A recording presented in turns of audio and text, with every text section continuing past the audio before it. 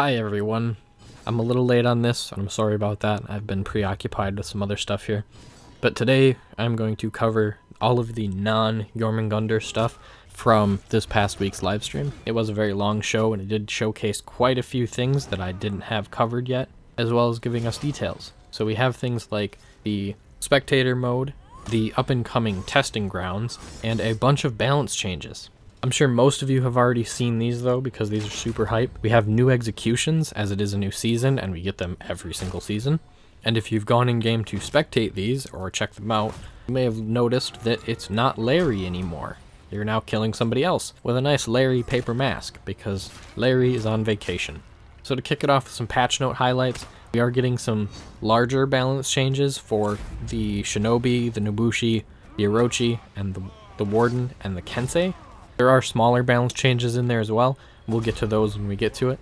And as a final thing coming up here is we have a new Breach match coming with the new season. This is Storr Stronghold. It's a Viking Breach map where you come up on the beach and siege a castle.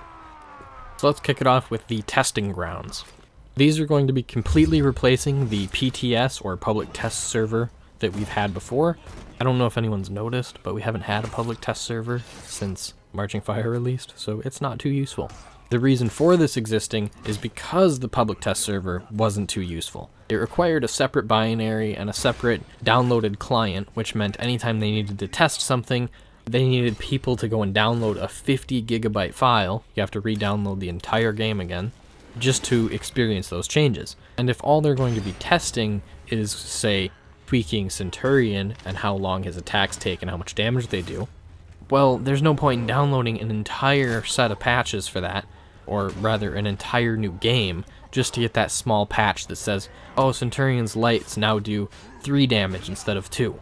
So what Testing Grounds will be is a special game mode that will be on the events playlist, so your faction stronghold, whenever they need feedback. And in this game mode, they can tweak things live and offer you a survey in-game. It won't require a download, there's no separate stuff. You don't have to go and toggle this. You don't have to say, hey, I want the test build, give me it. You simply go to this playlist, and it will be updated with normal live updates, the, the little circle in the bottom right where you get them on Thursdays.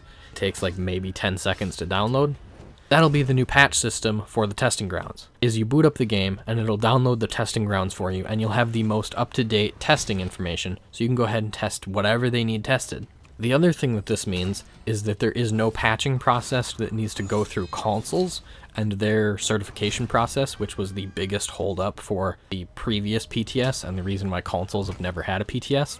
So that means this will be available on all platforms. PlayStation and Xbox, they can test upcoming changes now and not just PC. This has been something people have complained about in the past because it is kind of a problem that an entire two thirds of the platforms this game is on aren't allowed to, test new things. So from there, we have the testing ground phase one, which will be when it opens. This will allow you to play the content that is being tested, as well as get the survey and feedback to Ubisoft so they know whether or not they did a good job. This could be anything from tweaking a light attack speed, to tweaking damage values, to tweaking how stamina works, to tweaking an entire game mode. So if they, if they wanted to, they could rebalance the entirety of Dominion through this game mode that you don't have to download anything extra for. The first things that they're going to be testing is there will be a Centurion test, a Warlord test, and a Gladiator test. Now, I don't like using the word rework here, but that's what's implied. Is this is going to be where Warlord, Centurion, and Gladiator are going to be getting their tweaks right now. And it's my impression that this is the reason why Gladiator didn't get a standardized guard with this patch. Shinobi did. We'll get into that later, but Gladiator's completely untouched, and I'm fairly certain that this live testing grounds is the reason why he's untouched. Anyways, then we have the next phase, which is phase 2 of the testing grounds. That's when the testing ground closes, and you can no longer access the stuff. You'll have a survey to fill out, you'll have the support forms and the Reddit where you can go ahead and submit your feedback and complain or compliment the various things that they've done to the characters. And then over that course of a week or however long they need to collect all of this data, they'll look through it and aggregate it so that they know where things should be changed and what was good and what was bad. and then they can actually implement them with the next patch. And the next patch is where the fun stuff comes too, because we have mid season patches now, which means if on August 1st this isn't the greatest thing ever, we can then change it again come September 15th ish, which would be about the time of mid season. That's still a month and a half wait, but that is way better than the three and a half we've had to wait before. So that is the testing grounds, which will be an upcoming feature on August 1st. I'm really excited for this because it does mean that we get console testing, we get faster iteration on hero changes, and we get live feedback on hero changes. Let's go ahead and move on to the next topic, which is spectator mode. So, spectator mode was teased a little while back. They showed off the trailer at E3, and everybody thought that wasn't really E3 worthy. Me too. Well, we have more details on it, we know how it works now, as well as being shown a demo of how you can actually use it.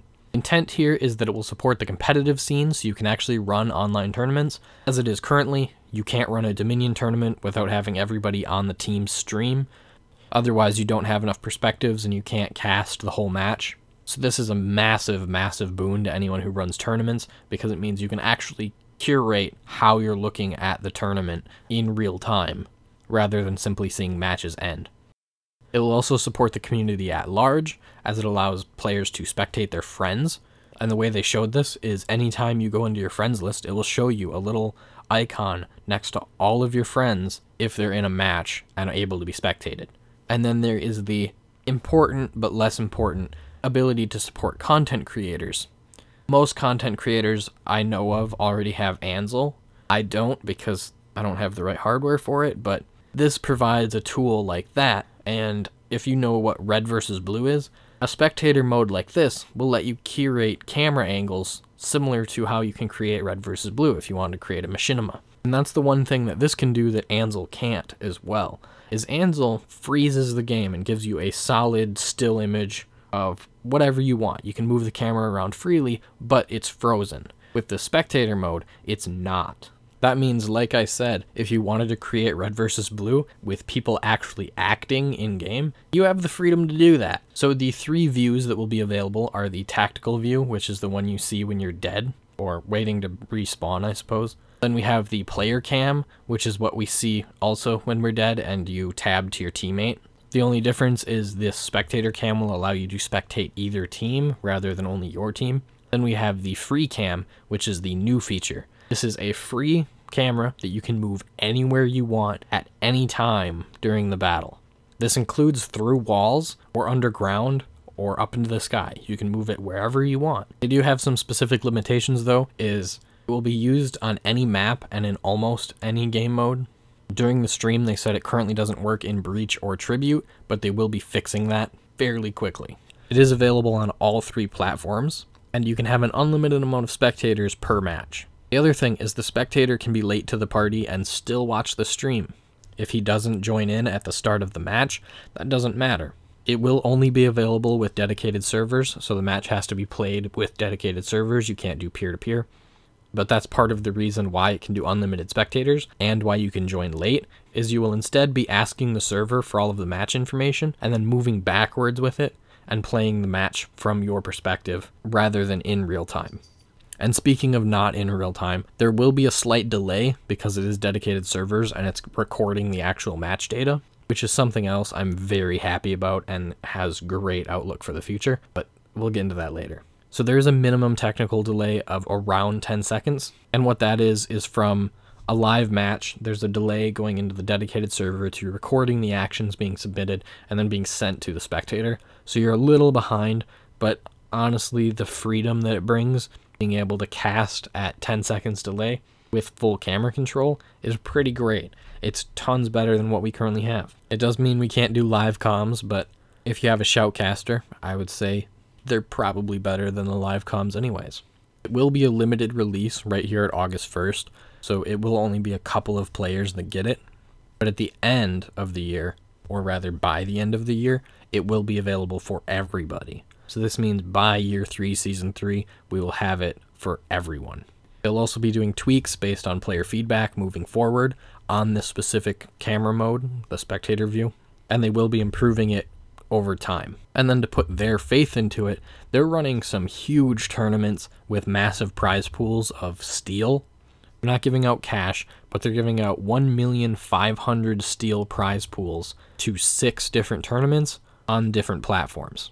These will be available for everybody, so you can go ahead and sign up on those. I do have a splash up on screen of this image right now, so you can check it out there. And that does wrap up spectator view. And oh boy, that took a little longer than I thought. Thought that was going to be one minute. Let's go ahead and jump into patch notes. So to kick it off, we do have new weapons. We'll be getting one new rare weapon and one new epic weapon for all heroes. We are getting a balance change for how out of lock rolls work. All rolls are now vulnerable to guard break from 0 ms to 333 milliseconds. This is adding 33 milliseconds onto the vulnerability. Dodge is now vulnerable to guard break from 0 milliseconds to 633 milliseconds. This is again adding 33 milliseconds to the overall window. Branching from dodge to roll can now only be performed from 300 to 400. This used to be 300 to 500. So this is reducing the window you have to push dodge a second time to go into a roll by 100 milliseconds. This makes mix-ups a little more threatening. They've also sped up the dodge break immediately after a feint to 300 milliseconds from 400. What this does is it allows you to feint into a guard break much faster so that you can actually catch certain moves. And the guard break counter has had a 300 millisecond window instead of a 200 millisecond window. That's a 100 millisecond buff.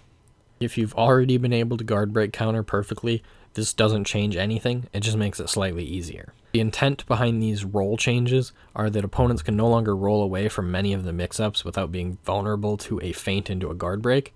Some specific mix-ups like this being Aramusha's Deadly Feint, where he can swing a heavy and then a sidelight, and you can just back dodge those and you get away. They've also tweaked unlocking so that you now take longer to start a sprint. It is 300 milliseconds instead of 100 milliseconds. This significantly limits your ability to run away from any attack and disengage in 1v1s. They've also reduced the movement that you can perform while being unlocked. This is specifically when you leave guard and start walking, you have a much shorter distance of travel. They've also standardized the entering lock durations. This used to be 200 to 400 milliseconds depending on your character. It is now a flat 300 milliseconds. They've also changed how fast you can walk backwards. It is now capped at a 5 units maximum. If you are a slower character, you still have your much slower walk back. They didn't buff everyone who walks slowly. And the forward combat has been increased to 6 units minimum, so you can always walk forward faster than you can backpedal. If you were faster than 6 units, you're still faster. So faster characters are still faster at walking forward, and fast characters are now slower at walking backwards. They've also changed all of the roll distances to 5 meters. That means everybody has the same exact roll. So those are the roll changes and the out-of-lock combat changes that we've been promised for the last season and a half. Overall, they sound pretty great. I'm excited to see how they work in practice, and I'm really curious how they change both noob level play and pro level play, and how it mixes up the tier list and if it helps any of the characters that have previously been able to either get backpedaled or rolled away from. This should buff Aramusha in 1v1s, but we'll see. Our next subject will be fighter balance changes, starting with the Peacekeeper. The Deep Gouge has been reduced from 12 stamina to 6. Deep Gouge and Dagger Cancel recovery is now 400 milliseconds instead of 500.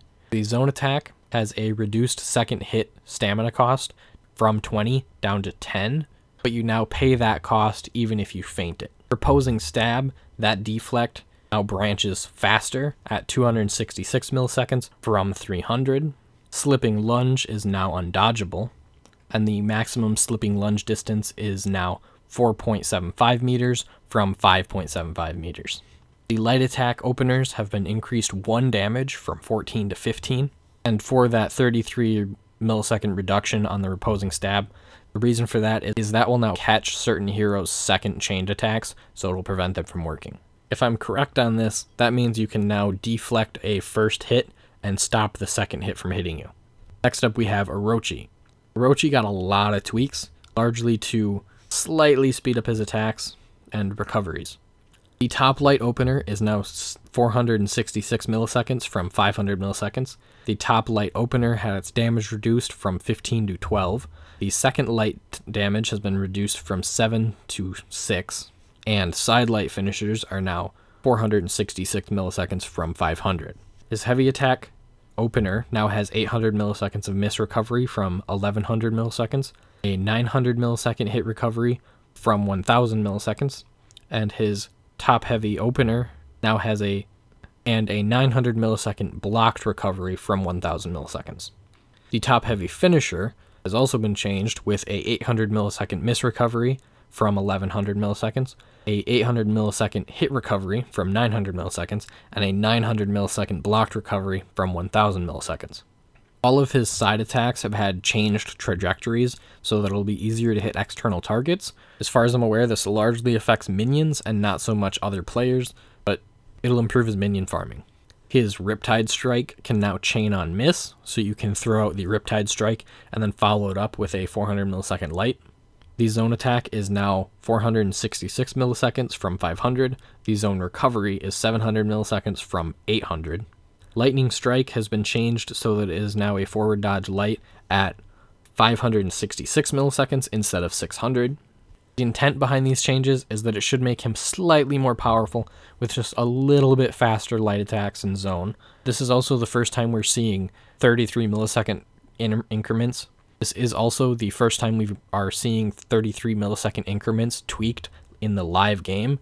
We saw them on Raider in the Marching Fire test, but those were undocumented and very janky. So we'll have to see how this tweaks balance overall. The devs could just be talking out their butts here. And then on top of that, they've changed the vulnerability windows so that he should be a little less vulnerable while throwing attacks.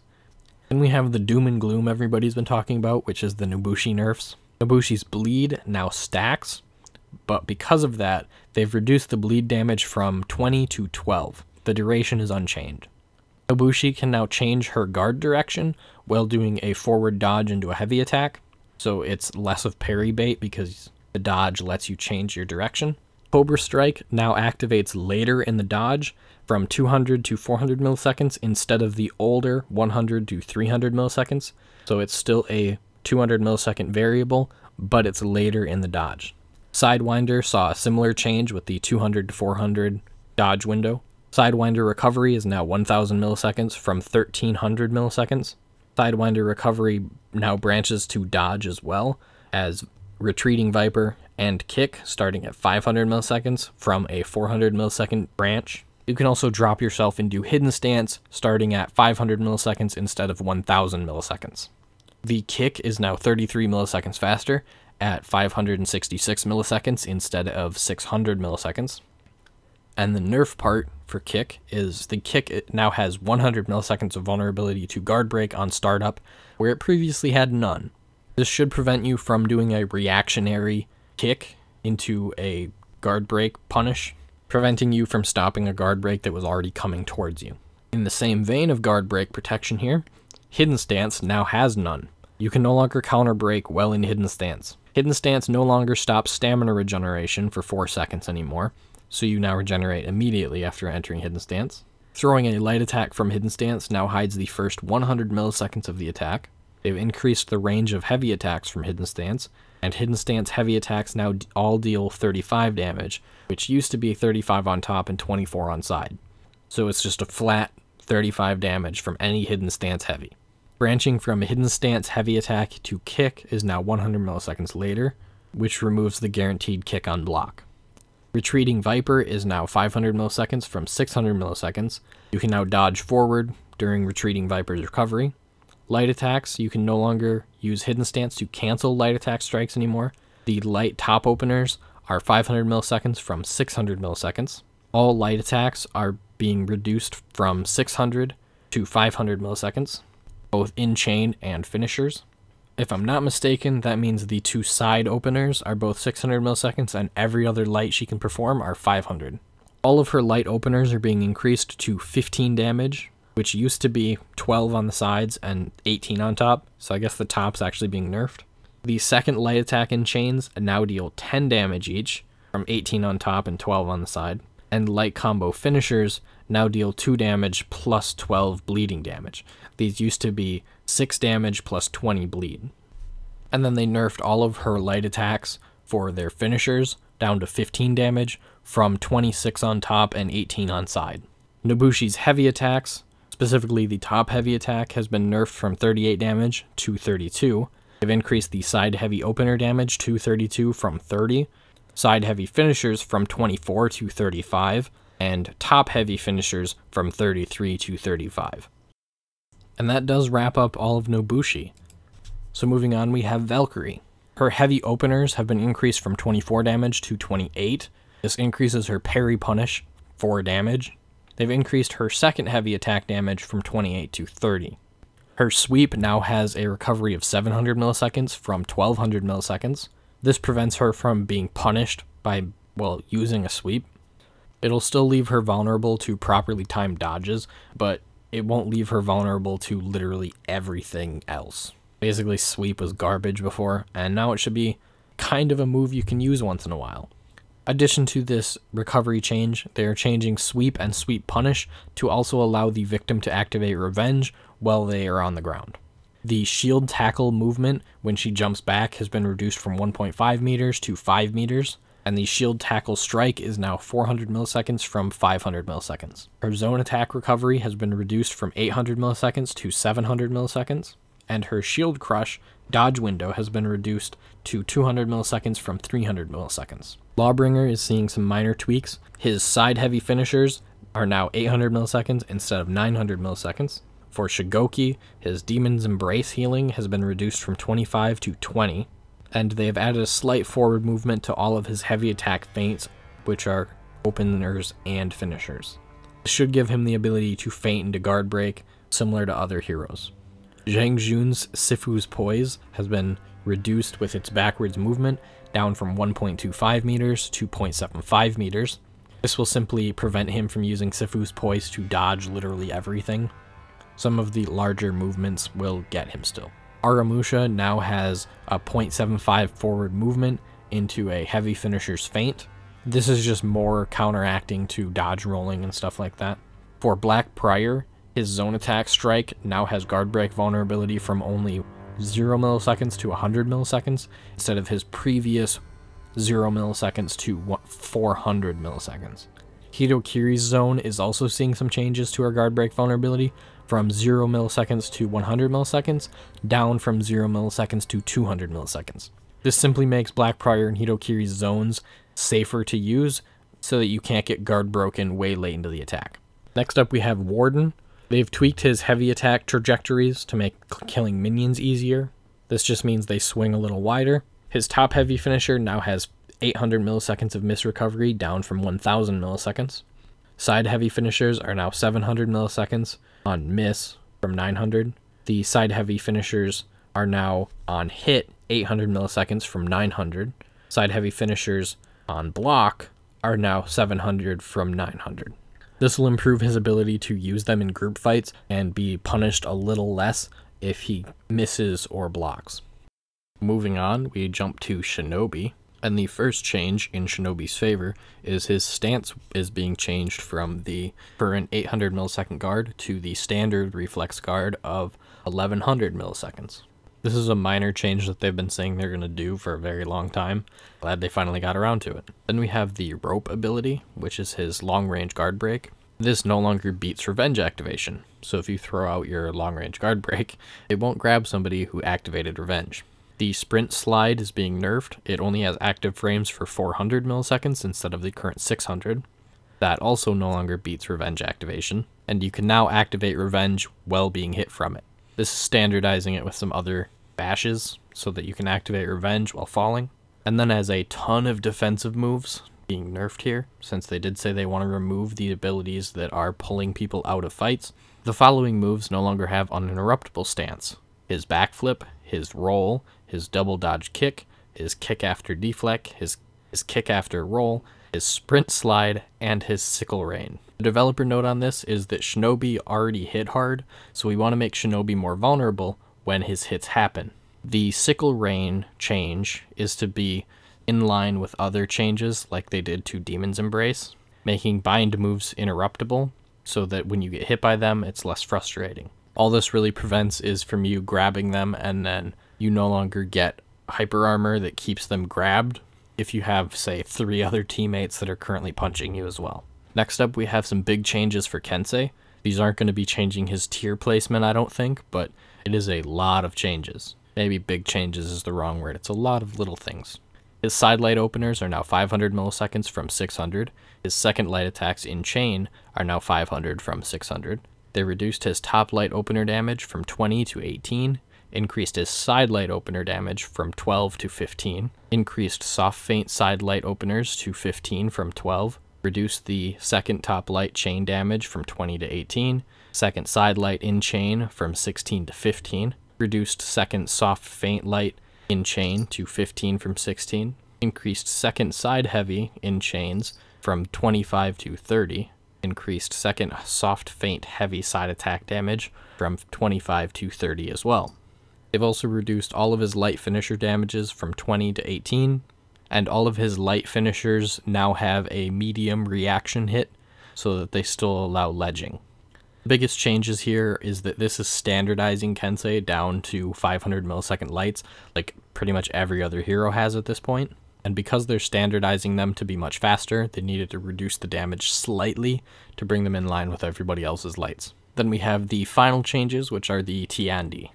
His light attack finishers have a 600 millisecond recovery, along with his hit recovery. His light attack finishers now have a 600 millisecond recovery on hit, miss, and block, and his interrupted block recovery is 700 from 800.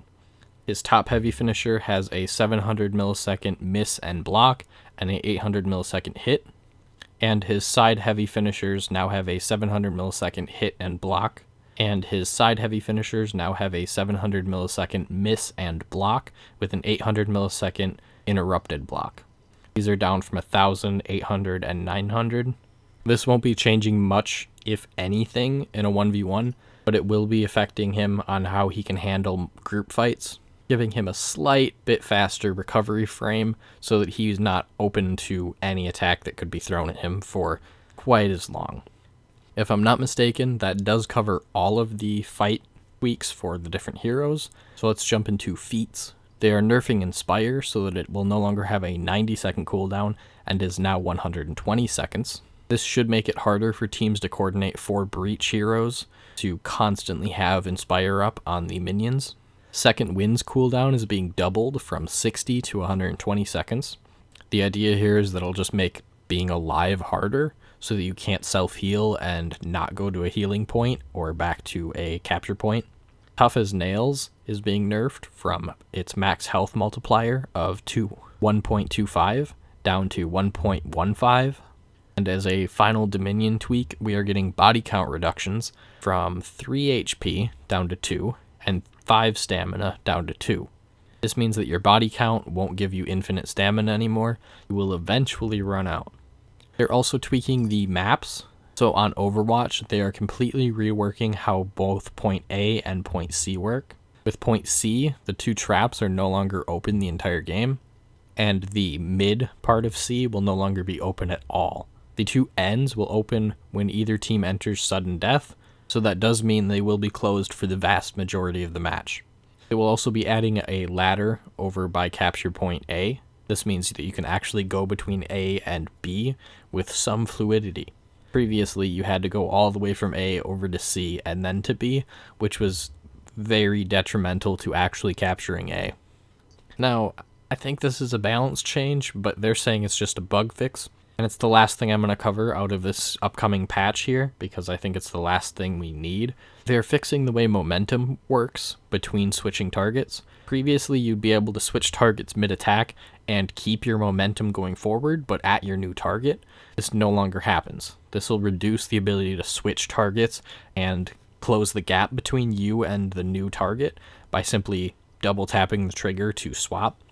The developer note on this is some heroes had the ability to switch targets during their dodges and completely change their current momentum to be in relation with this new target, causing unintended, hard to read animations. We have removed this ability on all affected heroes. Note that this does not change the fact that some heroes can dodge, then change their momentum by changing their targets and starting a dodge attack. And then as a side mention here, they are adding a new ranked duel map. They're going to be calling it the Sanctuary Competitive. This map will be just a tighter Sanctuary map, so the little circle with the stones on the ground. The intent here is that it will completely remove the ability to constantly run away, giving you a much more direct fight. I'm pretty sure that is everything other than the Jormungandr, so we should be okay here. I know this is a little late, and very few of you have actually watched all the way into the end of this 30 minute video here. Thank you for watching, I do appreciate it. I hope you have a great day, and I will see you in the next one.